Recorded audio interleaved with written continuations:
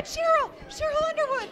Oh my God! What do you look gorgeous? What are you doing here tonight? Well, I hear that Glamour.com is going to be here, so I had to be here. Yes, you did. You look beautiful. Do you know what? I need a red carpet co-host. Do you want to be my co-host? I would love to be your co-host. Oh my God! All right, let's have you jump on over the rope or something. Wait a minute, you want to jump? Okay. Okay. All right. Okay. Oh. Oh. Come on. Okay. Okay.